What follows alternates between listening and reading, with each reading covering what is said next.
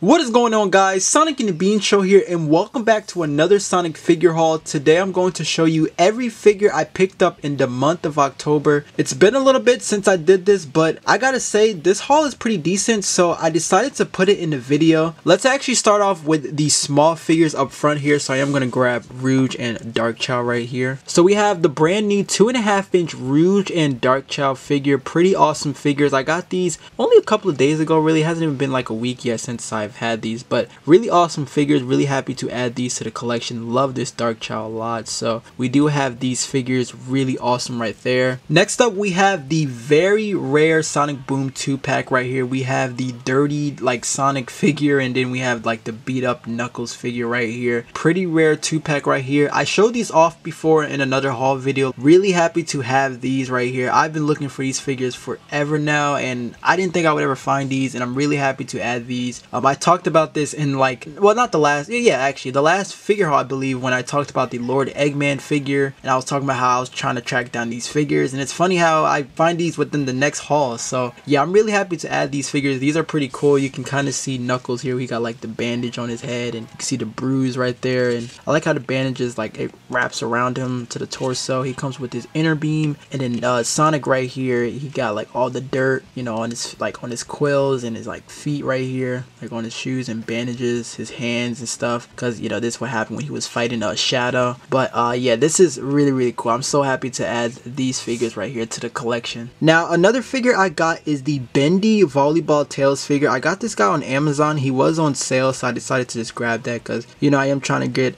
all the bendies there. So I decided to pull the trigger and grab this Tails figure. And I, I kind of like it. I, I, don't know why they look really funny with their little jerseys on really but um you know I, I thought I would grab that. So I think the only people I need now for this wave is like I think Shadow and Knuckles really. That's pretty much that. And I know I gotta get the Metal Sonic one but once I have all those that kind of completes the bendy collection right there. So and now for my other loose figures, we have the brand new Classic Sonic Vector and Ray. And then I did get another Movie Supersonic figure from our Halloween Sonic Toy Hunt video. And, you know, of course, he came with the Master Emerald right there. But, yeah, pretty great figures. Really happy to have these. Really love this Vector figure, man. Probably my favorite Sonic figure that I picked up in October. But really happy to add this guy to the collection as well. And then to end it off, here is Wave 10 in their packaging. But anyways, man, that is going to wrap up the haul here today. So thank you all so much for watching. I hope you all enjoyed. Let me know your thoughts down in the comments down below. And I will definitely catch you guys in the next video.